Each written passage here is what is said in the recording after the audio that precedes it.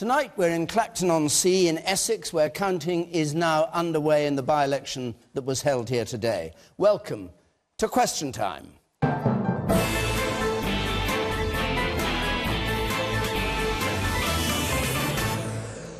So welcome to you watching at home, welcome to our audience here and to our panel tonight, the Conservative Communities and Local Government Secretary Eric Pickles, Labour's Deputy Leader Harriet Harman, UKIP's economic spokesman, recently elected to the European Parliament, Patrick O'Flynn, the deputy leader of the Liberal Democrats, Malcolm Bruce, and the novelist and broadcaster, Jeanette Winterson.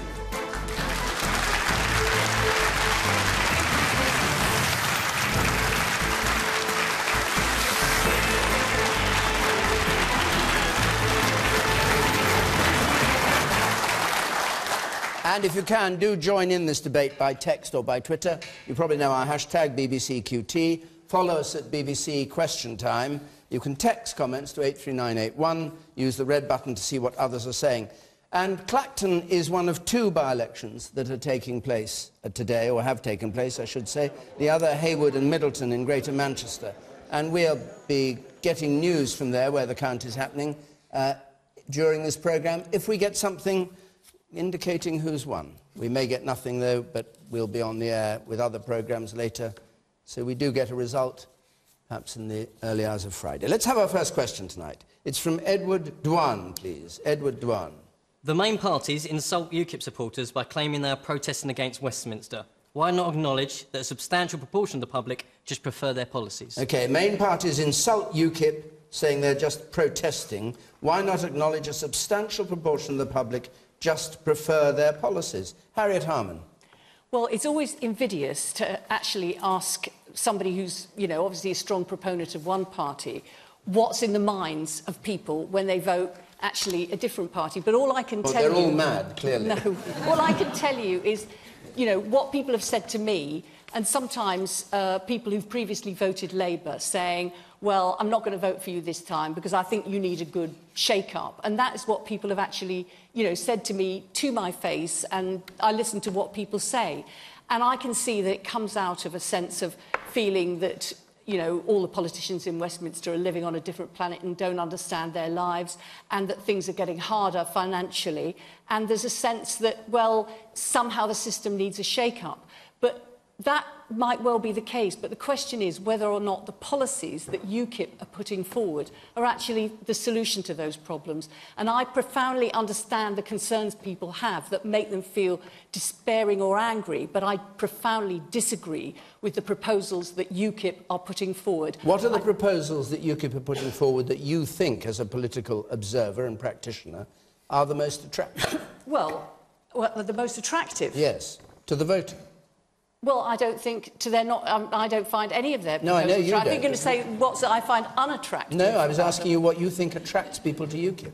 Well, what are the I policies that, that attract people? Well, I, you know, you'll have to have Patrick saying what he thinks that is attractive about them. But I think that they are, as, as I've said, that people see them as outsiders and therefore uh, giving people uh, a kick up the backside. But I think that the reality is the policies that are being put forward would make the problems that people have and the struggles they have in their lives actually worse rather than better. And I think as UKIP advances, and if it, like tonight, gets a member of parliament, people will look at those policies more seriously and they'll say, are these people really, have they really got the policies that would help the health service, our economy, the situation in my local area. And I think when that comes uh, to, to the fore, then I think that, that you know, there, there, there won't be such popularity. But we can't be complacent because for everybody who is voting for UKIP because they feel disaffected, that is a challenge to us to actually give them confidence that our policies actually can make a difference to their lives. All right.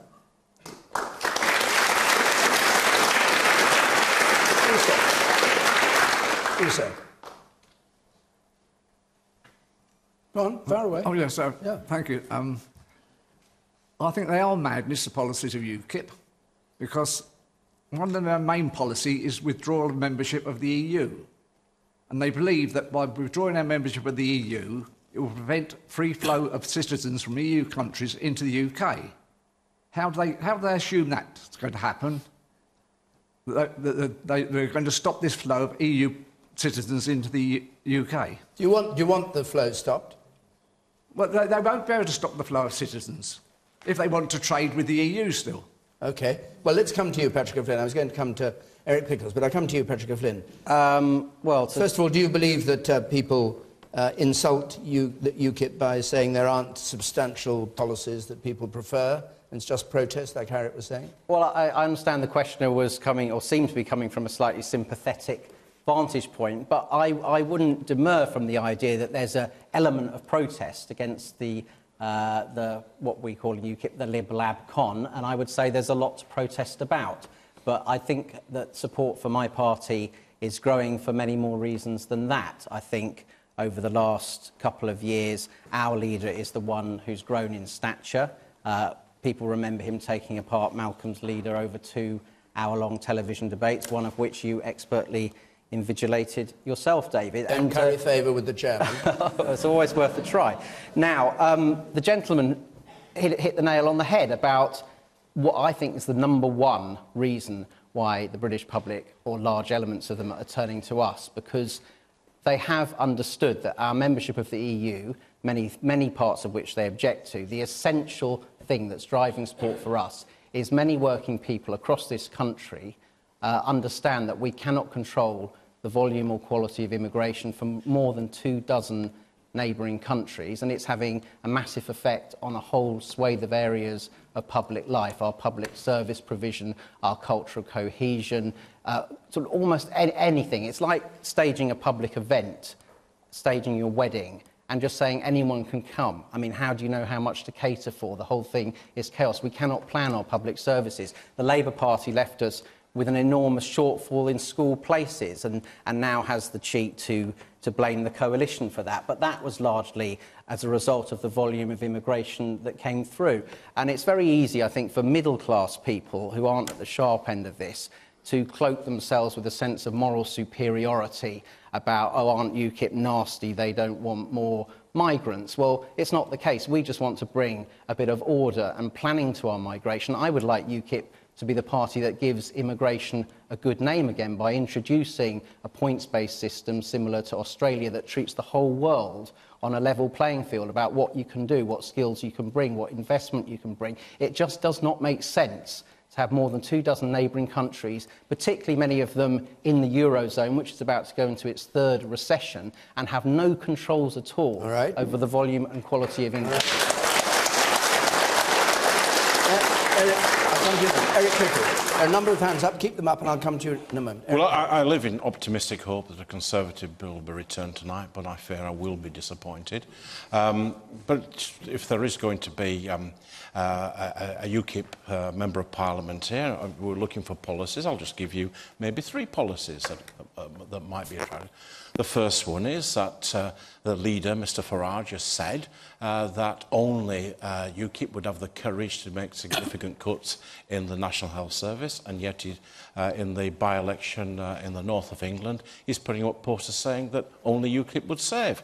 Patrick stands up at this conference and say he's going to pay for all these various things by a luxury tax. And before the nation gets an opportunity to hoard Gucci handbags or Ralph Lauren uh, scarves, that's, uh, that's removed. And we may well have elected a Member of Parliament that on the record is saying that if we leave the EU, he wants to see free, unfettered migration into this country because he believes in the mobility of labour.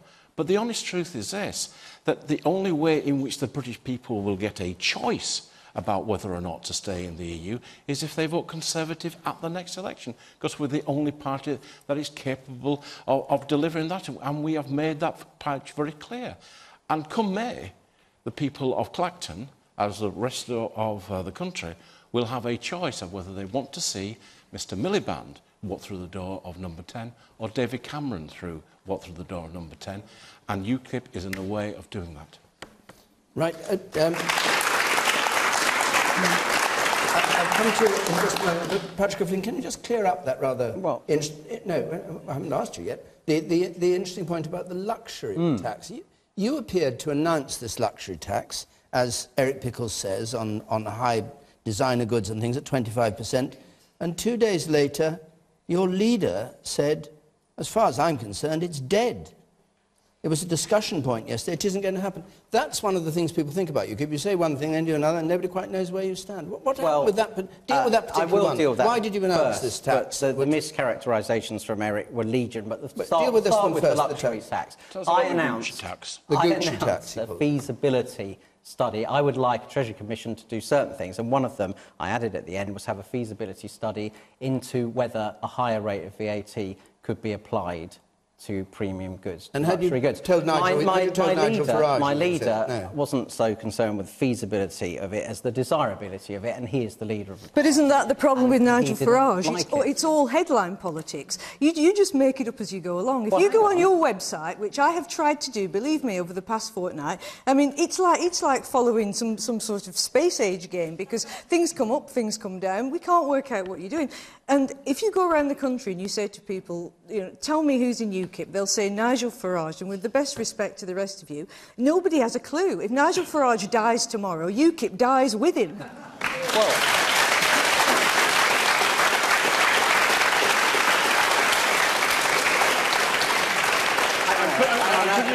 I- I- No, can let- let me just answer about I've the- been addressed. Um, certainly, Nigel is incredibly important, but you say things unravel. We had two hours of debate with Nick Clegg, this alleged hero of the leaders' debates of 2010, and Nigel took him apart on issue after issue, winning clearly on points in the first one and the second one by a landslide. Now, as I go around the country, I have to say, Jeanette, and I don't know who you speak to, uh, I find people incredibly supportive of UKIP. I've been to Clacton, I think, seven times, and the people of Clacton and indeed Fri- Frinton and other parts of the constituency have been incredibly supportive, and quite a lot of it has been on policy ideas as well as this feeling that, that Britain needs to Has it been on policy ideas other than the EU and immigration? What other policy ideas have you had that have got really good support Well, I, other than the EU one and thing is, is people don't see why in this country uh, the rich should be able to afford a selective academic education for bright children, and people who aren't rich aren't allowed that option. So that's another vote driver for my party. But I think We're- Labour have got a lot to say about that, and so has the Liberal Democrats. It's not your party.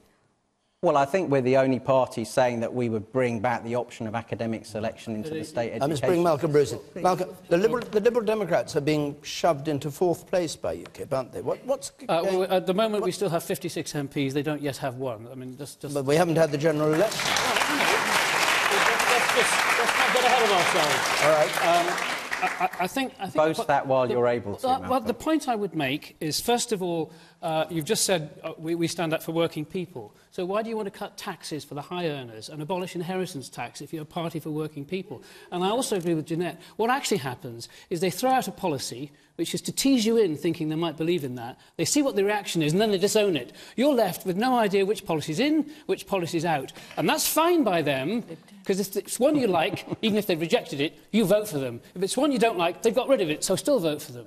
Uh, we've just had a party conference where we actually debated policy. The leader doesn't make our policy. Our party delegates at a conference make policy in a democratic fashion with properly considered ideas, not this draw it out of a hat, toss it up, see what happens. There didn't seem And to be that many people there, Malcolm, uh, there were a to lot our of people there, as a matter of fact. All right, well, let's not do tit for tat on that. Let's just hear from members of our audience. You said in spectacles there.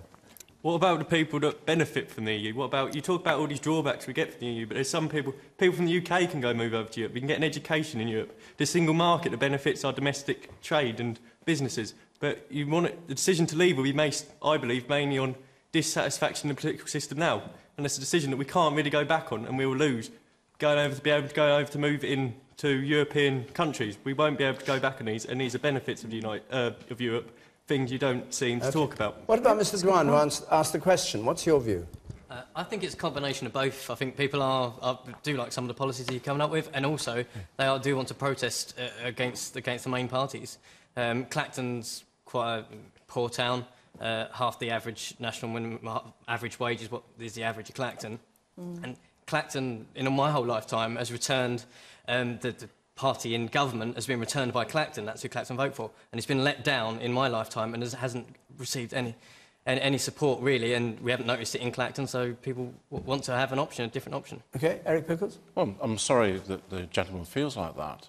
I mean, the three and a half thousand uh, more jobs than when we came into office, and we're spending 36 million pounds on a flood defence that uh, were it not to be there, then, then perhaps Clacton and uh, you know, I- w- I wouldn't live be in here. Holland where the flood defence, that's fine, but Jaywick, the other end of town, is one of the hmm. poorest wards in the country. Clacton has Oh, been fouled by the ah. establishment. Well, I'm- um, I accept Jaywick is one of the most deprived areas. But, but forgive me, I, I don't want to pick on Patrick, but could I just ask uh, some clarification on the health service? Your deputy leader, who are presumably a very important man, says that the very idea of, of the National Health Service offends him, that it's, uh, that, that, it, that it's against competition, and he feels it should be broken up. Is that your policy? Well, you know it's not our policy, and what he said Is he wrong? Many years ago, what he said was... He said it this year. the- no, he didn't. The NHS, uh, he felt, uh, wasn't uh, particularly compatible with the idea of competition. But we as a party are 100% in favour of the NHS. And what's more, we're the one party that's saying that this TTIP uh, thing that, that, that's coming that we haven't been able to see... Hang on, let me finish. Uh, we are the party that says we want medical services in the NHS exempted from that agreement, which not even the Labour Party All right, said. I, hold on, I'm going to go to the man at the back there. Let's hear from some more members of the audience. You, sir. Um, to the UKIP candidate, I completely agree with you that there needs to be a protest, but the fact of the matter is you, that you're not the party to deliver that protest because you're part of the Westminster elite that you, ha- uh, that you uh, say that you hate. The fact, that, uh, for example, I think uh, your candidate for, um, I, I don't know if I'm 100% right, but your candidate for this by-election as a Conservative MP actually claimed a million in it for his house in um, London. And in addition to that, um, I don't think you can ever truly be a party of the working people when your leader is an ex-banker. Okay.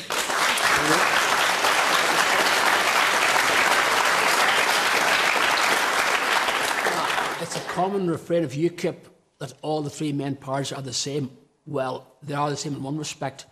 Their supporters don't go around abusing and harassing other people because we allegedly get all the foreigners in. You allegedly what, sorry? we- the supporters of the main parties don't go around abusing and insulting their opponents on the basis that they let all the foreigners in, that they should go back to London, that they let, the, that let Muslims live in this town. Oh, and by the way, immigration, uh, the last census of Tendring revealed that 97.6% of the population is white British. There's no immigrants here. There's no immigrants, immig- immigrant problem here. The problem here is deprivation. The problem here is poor GP service. The problem here is um, lack of investment. There's no uh, need to get upset about immigration. So if that's true, why is, why is UKIP because apparently so popular here and likely to win the? Unfortunately, there is a le- there's a level there's a level of bigotry in this area. The BNP's uh, have polled quite respectably in previous council elections, and I'm, and I'm afraid an element of the UKIP vote is, is racist. Can I hear from, we've got you.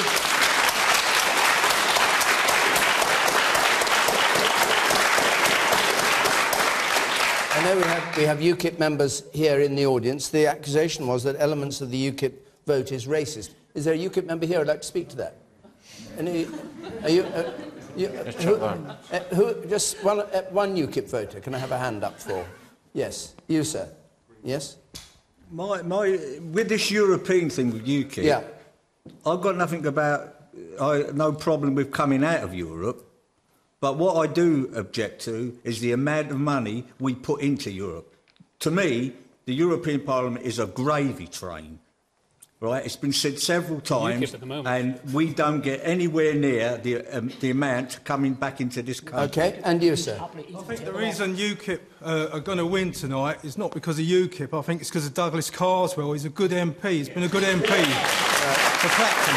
Okay, and the, and the man up there at the back. On the left, yes, you, sir. Yeah, just to go back on the point about the NHS, uh, I think it's laughable that there's, uh, there's three members from the three main parties here who um, are trying to take them all high ground on the NHS when they've allowed PFI contracts to financially Yeah, ruin yeah. the NHS. Okay, and you, sir, yes. Um, I'll make a comment. My father was born in Poland, and as a young man in the 1920s saw wheelbarrow money across the border in East Prussia in the Weimar Republic. Um, it was laden down with debt. Now we look across to Europe, and we have a lot of the countries in Europe in serious trouble because of economic mismanagement, debt, and what have you. Um, and I say, whether we're in Europe or outside of Europe, we still have a problem in sorting out Europe. I mean, much better sorting out Europe being part of Europe, because if Europe goes down, it will pull us down too, whether we're in it or outside of it. Okay, and, and the lady here on the left. Um, can we sort out Clacton? Because, but for this defection, Clacton never gets any any headlines at all, nobody ever mentions Clacton. Let's think about Clacton. But so, so Carswell leaving the Tories and joining UKIP has drawn attention to Clacton in a good way, you think? Yes. About time that Clacton got some uh, acknowledgement about its All right, deprivation. and you, sir, on the right there. The MP for the last. I, I personally think my biggest concern with UKIP is that we seem to have a politics of them and us and a, a basic psychology of the in-group and the out-group.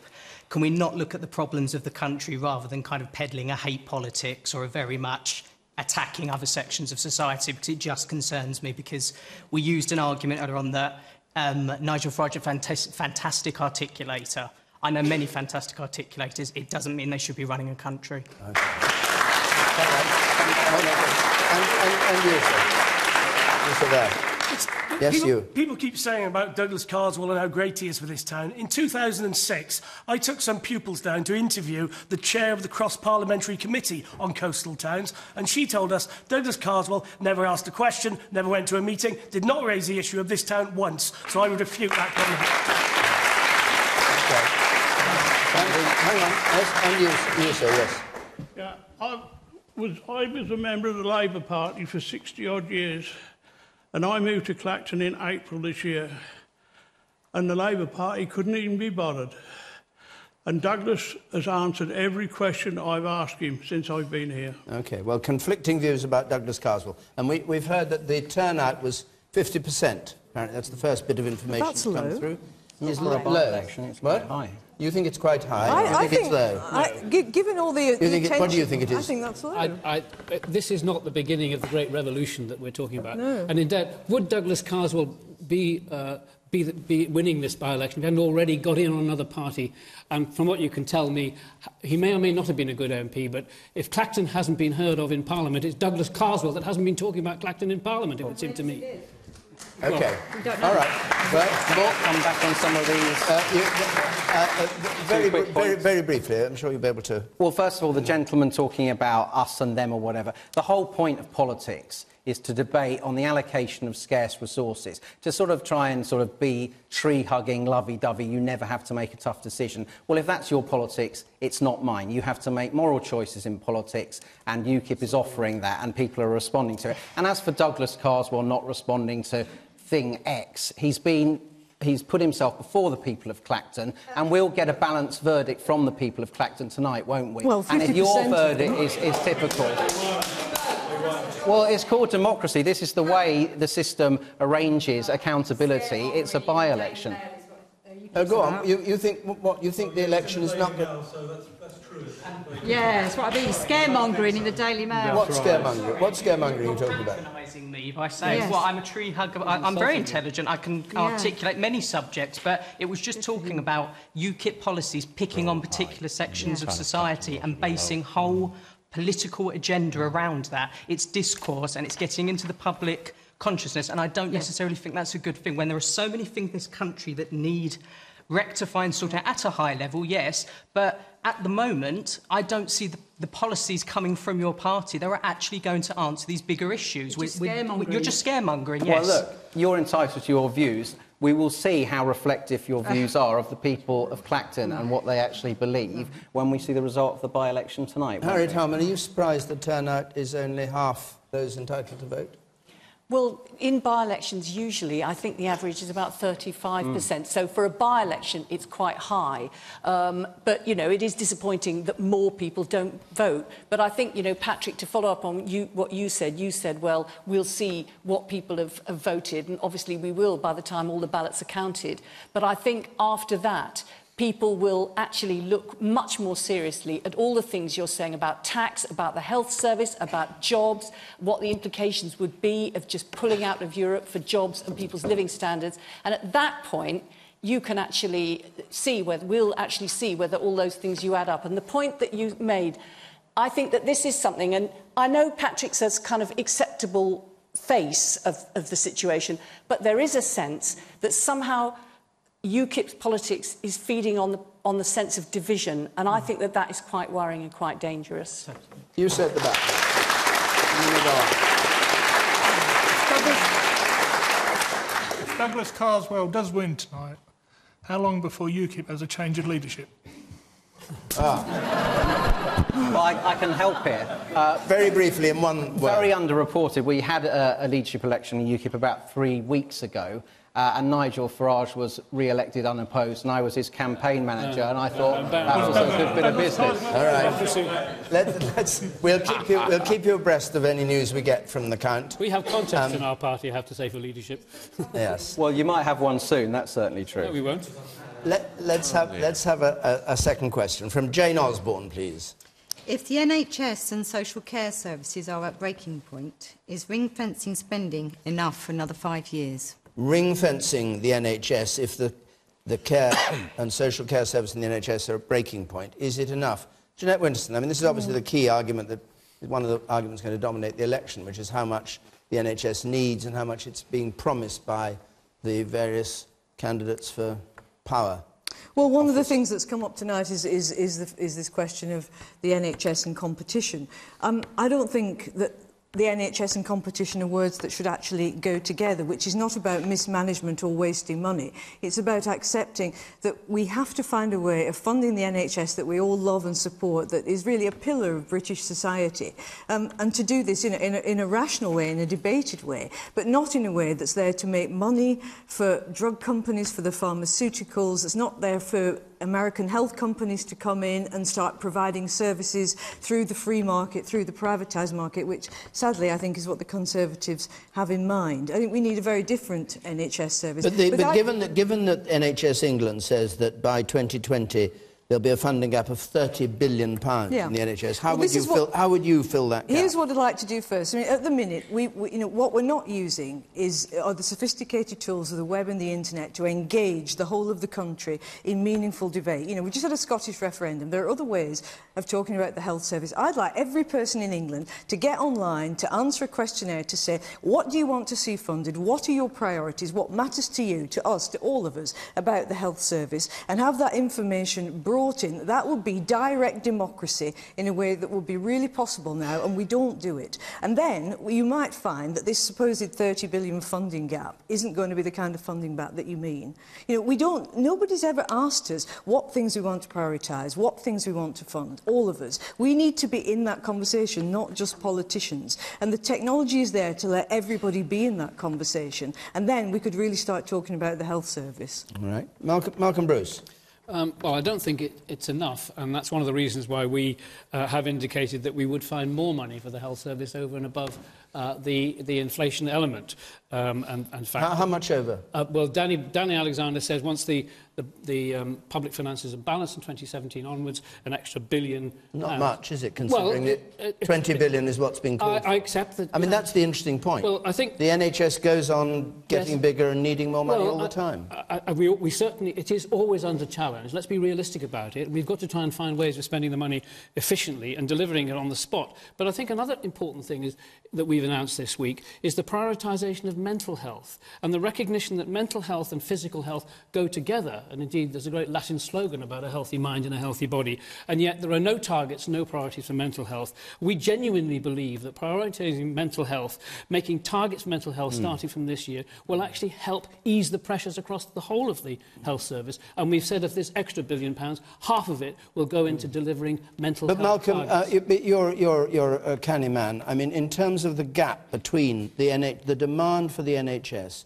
and what the political parties are offering, I mean, it's huge. And to pretend that any of the political parties are able to fill the gap or solve the problem surely is fantasyland. Well, uh, yeah, but I think we have a difficulty here. Let's be honest about it. Well, let's be honest. It, it is. It is our great sacred institution that Mhm. everybody wants to protect and support.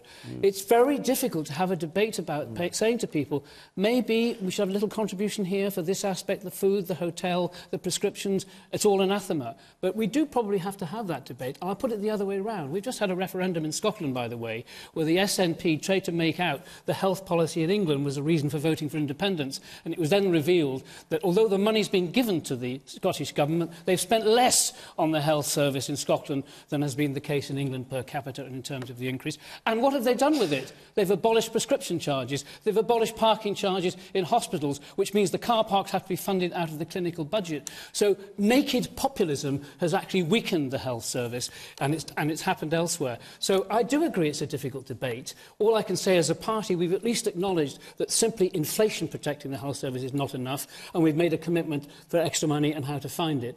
And I really want to repeat, mental health has been the underdog of the health service. 25% of people who go to the NHS or don't go to the NHS are suffering from mental health disorders.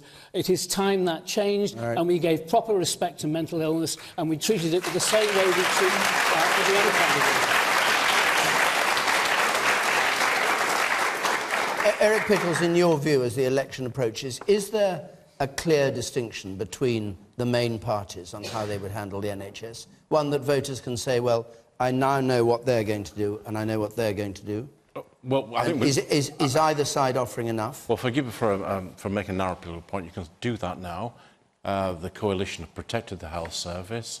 Uh, waiting lists have gone down. We've done various things. If you look in terms of what happened in, in Wales, where, where Labour's in charge, uh, we've seen problems uh, with cancer care, we've seen problems with waiting, and we've seen real cuts in the, in the health service. But look, I, I don't know about you, but I'm just sick to death of all this sort of you know, bidding about bit of extra. I think we need to look in terms of what the health service does. And I think the biggest challenge that the health service face and what society face is trying to get proper integration between medical care and social care for the most vulnerable, particularly the elderly. And, you know, as long as I've been in politics, we've tried to do that. Uh, the coalition here is trying with a Better Care Fund to try and make that transition uh, from, from somebody um, who is getting on, who is, get, who, who is very vulnerable, to find that they can, can spend the, the, the remaining of their life with a degree of dignity. We started with a relatively modest sum of uh, three and a half billion pounds. Local authorities have, have come up with a challenge, so we've got up to uh, to to five and five and a half billion pounds, and right across the country. Local authorities and uh, the health service working together to get that thing so that you know people aren't torn apart, people aren't uh, separated from their loved ones, people can live out their, their life very, Derek, very how reasonably. You do that when you said you're going to um, complete the elimination of the deficit by simply cutting public well, services? I have to tell you, I'm working hand in glove with, uh, with Danny Alexander to do exactly that. Yeah, but we've said we're prepared um, to raise taxes on, on the wealthy. You said you won't. Uh, but, well, I'm sorry you're making this rather narrow point. Uh, the point is, The coalition's agreed to that. We're committed to it. I hope you're committed to that. If we can do that, as a byproduct of that, it will save an awful lot of money, and we can and, and we can actually transfer right. it to other parts uh, of ourselves. Yeah. But it, but it is worthwhile doing but in itself. Jane, Jane Osborne's question was: Is ring fencing well, spending is. enough? But it is, is enough? But, it, but it is ring fencing, and the answer no, is no. Shine, no, because enough, we're, no. because we're looking towards to spread it wider. You sir, the NHS really needs more money put into it, but also it could help itself by doing away with a lot of these managers that are. Yeah that are in the hospital. Okay. Uh, Harry, uh, okay. Yes, go on, sorry. I was going to say, my my wife used to be uh, a ward clerk at a, hospital in Essex. She left. They brought in instead a business manager for a hospital, a business manager, and then uh, he he decided he had too much work. He brought in an assistant. Nobody replaced my wife on a ward uh, as a ward clerk. She, that position was left vacant for two years. Okay. And you, sir? Uh, yeah, I mean, uh, the NHS is a fantastic, um, you know, organisation, and obviously, you know, we all use it, or we will all use it at some point in our lives. Um, I agree with the gentleman uh, there that there's too many managers. If you look at the local primary care trusts, whether it's you know around here or somewhere else, there's too many managers, too many people in offices not doing anything. Um, and that's gradually increasing year on year, um, where there's not enough nurses, not enough doctors, and, and that's where the money's going, I think, in the primary care trusts. That's, can, that's where it's being lost. Can I come back to Jane Osborne, who asked the question? What do you think of the answers you've heard so far? I think they're really wishy-washy and vague. I, I want them to actually grasp the nettle and say, look, we have got this massive gap, and yes, we will increase taxes or national insurance, and be honest about it. The British public really care about the NHS, and I think they're happy to pay for it if they need to.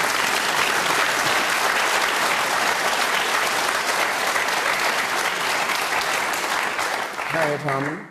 Well, I think ring fencing isn't enough money. I, I completely agree with you on that. And the other thing is that the NHS is incredibly good value for money compared to other health systems. If you look at the American system or even health systems in other European countries, we spend less as a percentage of our national income on the NHS and get far better health services as a result. So the idea of moving to a different system uh, would be totally against. Obviously, there's improvements that can be made. But I think that, you know, Eric Pickle's description uh, is, just does not meet reality. And there is a simple truth that's happened on this, is that I can remember when they were in power before we came in in 97, where people used to come and see me breaking down in tears because they would be waiting two years for a hip replacement and they couldn't even go on a GP waiting list and they would have to appeal to go on a GP waiting list. And when we came into government, we actually put lots more investment in the NHS to bring the waiting list down and have more GPs.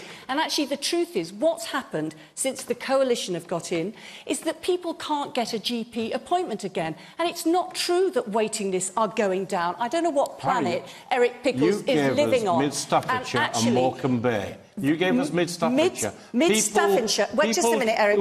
Just a minute. just- Just a minute. People who Mi- couldn't even get a drink, They were, they were neglected because they were trying to hit your targets. Eric, it is Just outrageous to say that the whole, to tarnish the whole of the NHS or to try and tarnish the Labour government because of Mid Staffordshire, which everybody in the NHS thought was absolutely terrible. So I think that that is disreputable for you to try and undermine the NHS to say that actually it was all like Mid Staffordshire. And I think that's a very you're putting words into disreputable thing mouth. to do. I think that... But are you going to apologise to that- Mid-Staffordshire? Because it was a failure of management. we all felt, everybody felt terrible about Mid Staffordshire, but that was not an emblem for the NHS. That was things going massively wrong in the healthcare system that should never have been allowed to happen. And Harriet, you said at the beginning of this, ring fencing wasn't enough. How much more? The lady over there was saying you should just put up taxes and spend money on the NHS. How much more money are you going to be saying you'll be spending? Well, The we Liberal Democrats are saying another billion. What's Well, we said that we would put in a new fund called Time to Care to get more doctors, more nurses, more GPs that would have two and a half billion pounds, but we recognise that still wouldn't meet the funding gap, which has been estimated at 30 billion pounds. And we want to do more on the NHS because we believe it's good value for And money. that's you know, halfway through the next Parliament if Well, you're in power, yeah, isn't it? Yeah, and Not it- straight away. well, you know, you get working on it straight away. But one of the things that I think we should bear in mind is that is the people who actually are not paying tax at all or not paying their fair share of tax. And HMRC's estimate, and this was brought out by the Public Accounts Committee, is that there is 35 billion pounds of unpaid tax in this country, and that's before you go to Google and Starbucks and Amazon. If some of them paid their taxes, then actually we could have some of that money going into national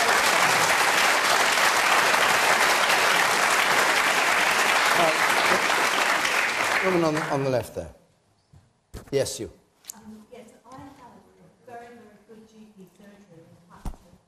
Oh, sorry, no, I, I didn't. I'm so sorry. You didn't have a microphone, and I, I'll come to you in a moment. I meant the woman there in the striped. I'm so Thank you. sorry. I will come back to you, though. I think as users of the NHS, we should be more responsible and turn up for our, our appointments. Right. And um, I would be prepared to pay more for my prescription charges. I think they're very cheap. A lot of the medicine that we buy is very expensive. I think if that was put up, it would help to contribute to the main bill. But I think we should be more responsible users as well. Uh, that people could who could afford would pay, or that everybody should be charged, or how would you? I think the charges are very reasonable, but Okay. um, I, think, I think we should pay more. And now you have the microphone. Right. Um, I have a very good GP practice in Clacton. Everybody moans they can't get an appointment. This morning I found out that we have a walk-in clinic for one and a half hours every morning. Then we can see our doctor on the same day. Also, I had a cancer operation in Colchester General last November, and it was absolutely excellent. At the time, they were getting the very bad publicity uh, on cancer patients. But what, I in did, Colchester? In Colchester. Yeah, I did see an awful lot of waste of money, just, just like a layperson's point of view. For example, hiring a private ambulance to take me 10 minutes across the town for a procedure before the operation and then to take me back. Whereas if they'd given my husband a parking ticket to go into the Essex County Hospital, he would have done it for it. free. All right. Mm. Pa- Patrick O'Flynn.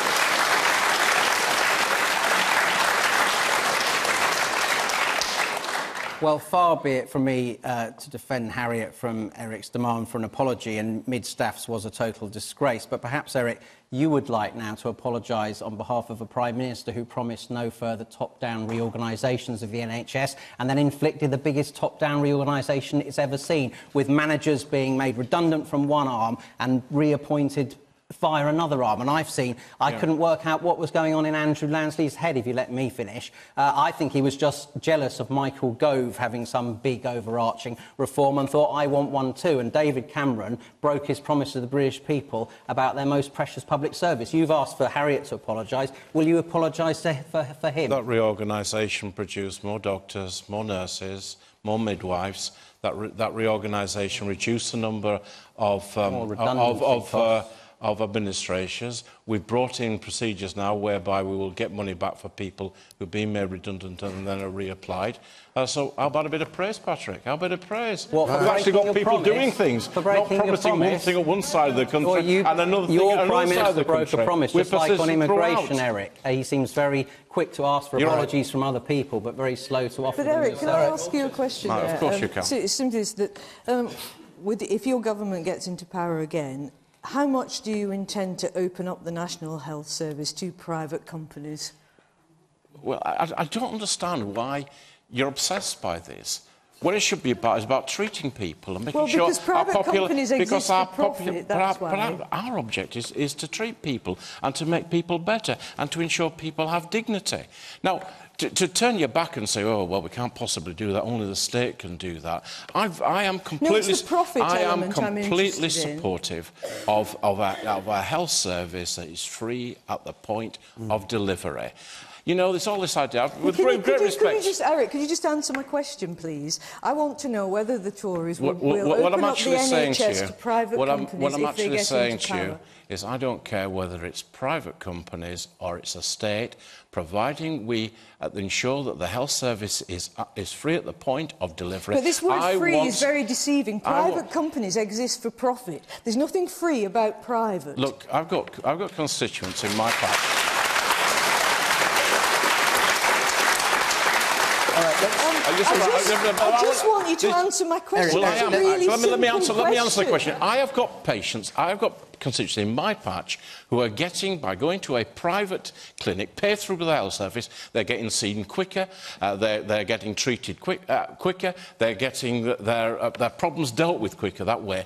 Under your system... What does it uh, cost the taxpayer? Oh, oh, under your system, people would suffer and they would have to wait Annette, longer, and I is it- find that completely Can- morally can I- repulsive. Can I- hold on, hold on, but the two of you. Are you saying, So Jeanette, sorry. uh, it's all right. Are you saying that the use of the private sector is more expensive for the taxpayer in the long run? Yes. E- even if it's more, even if it gives quicker It- it's- it- service. what we- is, what is we- that true or false? What, I, what, Well, what we false. see It's false. It doesn't cost any more to go private.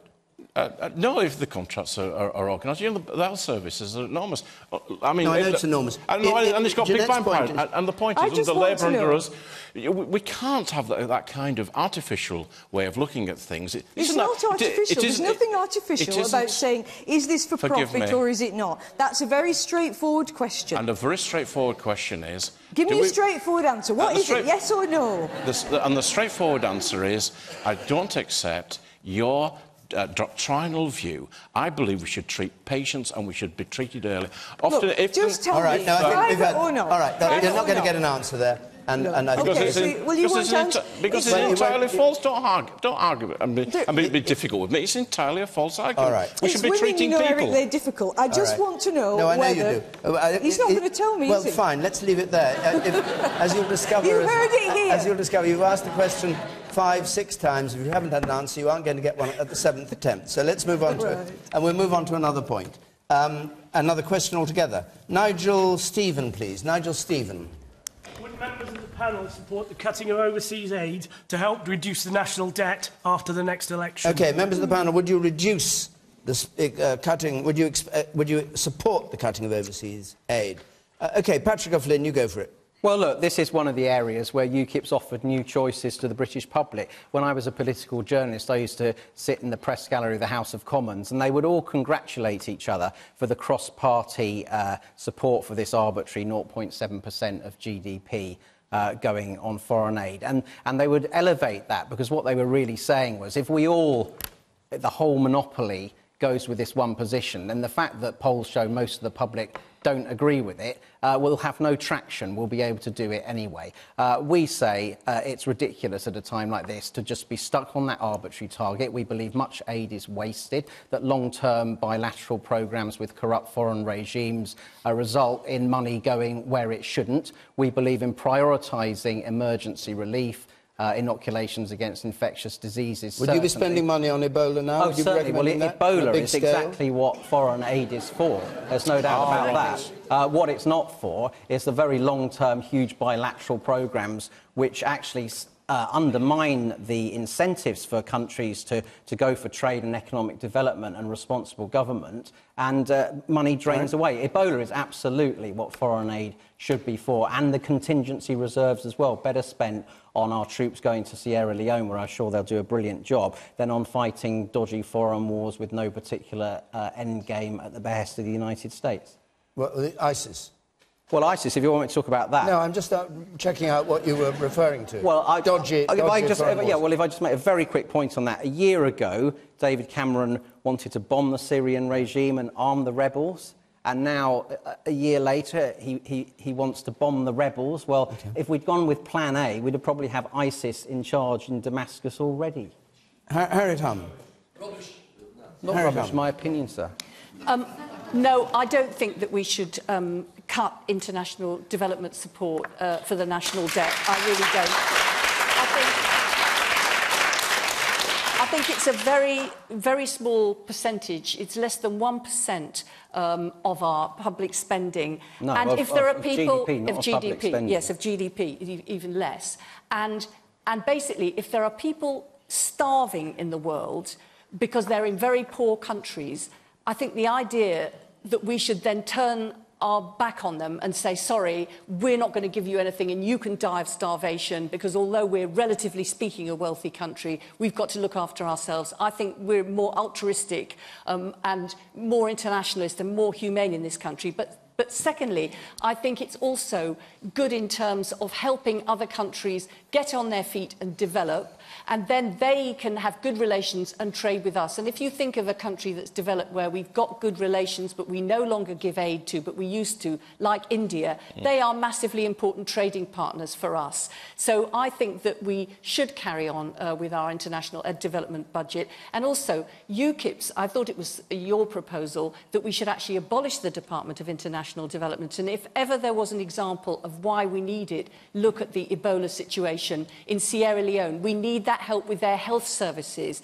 We need that out of humanity because of the awful effect of the disease on them, but also because this is a global issue. And I don't think we should be a mean, narrow-minded, inward-looking country that only looks out for ourselves. I think that is depressing, and I don't hold with that.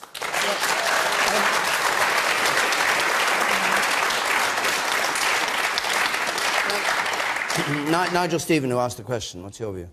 Well, I'm inclined to uh, go with what Harriet Harman's just said, because the idea that none of this aid is tied and it's just given and we don't get anything back in return just is not true. And actually, if you were to trim down uh, that 0.7% that Patrick has mentioned and uh, look at the sort of re- reciprocity of it, what we get back, and then you actually look at in proportion to what the national debt is, we're looking at a tiny, tiny fraction uh, in terms of reducing it. So that's why I go along Does anybody I'm here support what uh, Patrick Flynn said about it? That, that yes, you sir. Um, I'd like to know, Harriet Harman, where Brazil are a much more developed economy than Britain now, and we're still actually giving them money. And you mentioned China. Overseas aid still goes to China. So I'm all for protecting overseas aid for countries of need, but with countries of greater economic output than Britain, why should it go to them? Uh, Eric Pickles, would you like to answer that? Yeah, but uh, I, I want to just say something I said. Uh, no, could you ask, answer him first? Because that's the way the programme works. No, I'm going to... Um, My, my experience of the programme is we say what we like and you just try and stop us. I just want to say, I agree with what, uh, what- what Harriet said. I think it's absolutely right. You know, it would be entirely wrong. Now, of course, there are some places that we're given that are prosperous. We used to give a lot of money to, to India, but we've gradually moved out to a position where, where we didn't. We were still India giving had to tell us to stop giving it because they didn't want it. Well, we... we ran down a, we ran down a series of programs, but you can't get away from the fact, Patrick.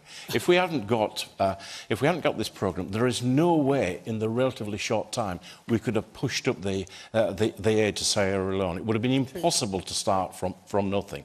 And there are people, there are girls getting an education in, in parts of, um, of, of, the, of the Far East and in Asia that wouldn't have got an education without British aid. right. And it's in our interest to do so. We are a small nation, but we are a big trading nation. And it is in our interest to ensure that there is literacy, that there is clean water, and that people get a good education. Now, can you put your question Mr again? Pickles, is um, overseas aid to fund um, space programmes? No. No, uh, no, uh, clearly it is, it, it is not being used to, uh, to fund Well, a, a space why haven't programme. you got a space it's, programme? it's kind of a very interesting idea, but I don't think we'll be using it for that. Well, clearly have Malcolm, Malcolm Bruce. Well, I've had the privilege of chairing the International Development Select Committee of the House of Commons for the last nine years, and I have been all over Africa um, and Asia looking at UK's aid programmes. Um, and I absolutely do believe they both serve the, the global interest and actually Britain's national interest. But we don't do it in order to get a return on investment. We do it to lift people out of poverty because we actually care about it. But we want to do it in a way that's sustainable. I was a few months ago in Sierra Leone and Liberia at the beginning of the Ebola outbreak. And the UK and indeed the United States have been working there to build up their health capacity. But we hadn't got far enough down the road for them to be able to withstand the particular threat they have now. What I hope we will do is put more resources in to tackle the problem, but also leave a legacy where they can cope with su such a yeah, problem in the future. That's a sound investment for them and for us. And you think we try to eliminate AIDS, malaria. These are all diseases that threaten the whole planet, not just these people over there that apparently we don't care about. These people over there are our right. brothers and sisters who we should care about, we do care about, and we have a capacity to help them help themselves, lift them out of poverty, and create a world which is much more unified, Okay. less prone to violence, less prone to migration. It's a very good investment. We should be proud of the fact that we are the second largest donor in the world, and I hope when Michael Moore's bill passed through Parliament, we will enshrine in law that 0.7% will be our commitment for the future, Thank you. Precisely so that you Thank you very much, take Malcolm it. Bruce. And Jeanette Winterson, very briefly, if you would. I want to get one No. I think, I think we are all. I think we're all on the same side here. I mean, All right, well possibly then- not Not me, UKIP, no. not UKIP, but you know, what kind of a country do we want to be? We're a wealthy country. You know, we're a big player in the world. We can afford it. It's morally right. Of course, we've got to keep the aid going. All right. Thank you very much. Uh, can I just clarify one thing with you, Mr. Pickles, since Mr Dimbleby. Thank you, Mr Pickles. Um, can I clarify one thing with you? That, why did the government switch its policy today? In the morning, they were taking the World Health Organisation's view that there was no point in screening in the UK, and then this afternoon it suddenly switched. Uh, just tell us, for yeah, well, purpose of information, what it was. I mean, the World Health uh, uh, medical uh, opinion is immensely important, but also we took advice from our Chief Medical Officer. His advice changed. I want to absolutely emphasise the risk has not increased, but it was felt uh, that in terms of screening within this country, it would act as an extra precaution and would be worthwhile uh, doing. So it's on the medical advice that we've taken. All right, thank you very much. We've got time for a last question from Susan Jones, please. Susan we- Jones. I have no more news at the moment together- about the by-election. Yes, Susan Jones. If we are all in it together, should MPs' wages and expenses be frozen like other public sector wages? Yes, uh,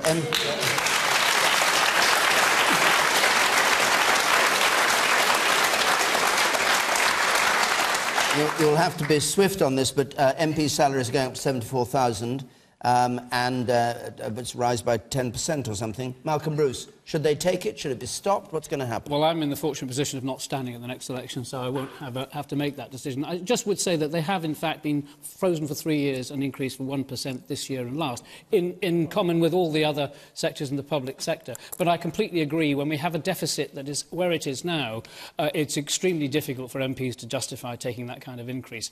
In the long run, we do have to get MPs' pay in the right place, but I have to say the timing couldn't be worse. Okay.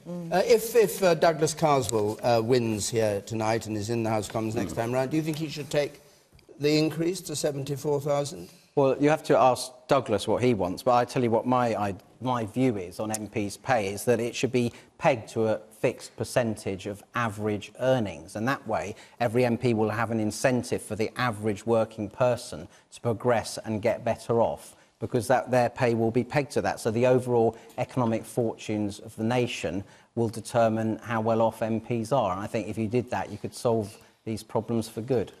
Uh, do you agree with your leader that they should be paid between 90 and 100,000 pounds, not 74,000 pounds? Um, actually... If you knew that was his policy, which perhaps you didn't. Well, I think MPs' pay is, is a question that every MP will have their view on. I don't think uh, MPs are underpaid. I think once you, you count in the pension scheme that it, it's, it's, you don't go into public service to get rich. Uh, and I, as I say, my view is it should be pegged to average earnings. Right. Harriet Harman, what do you think should be done? Well, I was just wondering what, what Patrick thought about um, members of the European Yeah. Parliament pay. You want me to answer think that? Yeah. Well, Well, you're, giving, well, you're giving up your own See it, time. Oh, right. You're giving up your own time because you've only got Well, a few minutes. Okay, I'll, well, I'll answer very quickly in order that we can hear from Patrick on MEPs. We've proposed that actually ministers' pay should not be frozen but should be cut by 5% as part of the deficit and that's what we could do in government. But actually our view is that MPs should not be voting on our own pay. That is absolutely the wrong thing to do. It should be set independently but as far as the government is concerned, if we were in government we would control that and we would start by cutting ministers' pay by 5%. All right. Eric Pickles, do you think that the, the, I, I, the, the system should be abolished I, and people I, take the money? I, I started out and I had a 5% cut to my ministerial salary. Each time MPs have had an increase, my ministerial salary has been cut by that amount. When Labour were in and we had that uh, increase, I decided the time was wrong and I paid the amount that I got to a local charity. That's my decision and I'll take that decision uh, when, if and when we uh, receive an increase. Uh, and right, okay.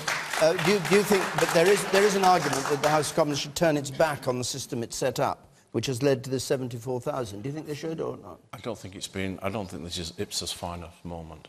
The problem is, it's, I mean, the average, the average wage is 26,000, mm. isn't it? So, it, you know, it sounds like a lot of money. And, you know, that's difficult at the moment. And it's difficult for MPs to be suddenly saying, yes, we'll have a very large increase. You know, but the idea of paying MPs in the first place started right back in the 1830s with Chartism. And the idea of paying MPs was so that working men, as it was at the time, could stand for Parliament. So we've got to get this balance so that people can serve the country and do it effectively without it looking like they are, in fact, in it for profit. Because I think whatever you say at the minute, 70 odd grand looks like pretty good money. Susan Jones, brief point from you. Yeah, I mean, I just think in this um, economic times, we just can't say that we can pay MPs £74,000 a year when someone in Clacton is lucky to earn 10000 a year. Okay. Well, we have to we have to stop there now. Next week, question time is going to be in Newbury in Berkshire. We have Charles Kennedy and Amanda Platell among our panellists. The week after that, we're going to be in Liverpool. So if you want to come to either programme, it's Newbury or Liverpool, go to our website. The address, as always, on the screen, or 0330 123 9988. If you've been listening to this on Radio 5 Live, as you know, the debate continues with Question Time Extra Time uh, here on the BBC. Andrew Neil will be here until the early hours of the morning with the result of this by-election. I haven't heard any more from the count as this programme's gone on, which I'd rather hope we should. But anyway, he'll have that result. My thanks to our panel and thanks to all of you who came here to Clacton to take part. Most of you, I think. How many of you voted? Hands up today. Brilliant. Well over 50% of our audience who voted. Thank you very much. Uh, from Clacton, until next Thursday, good night.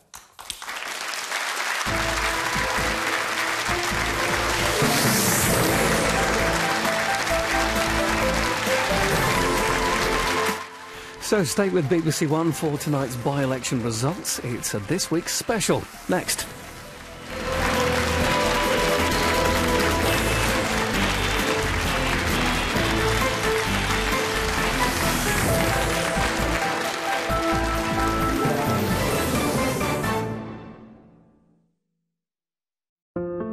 Dementia is an illness full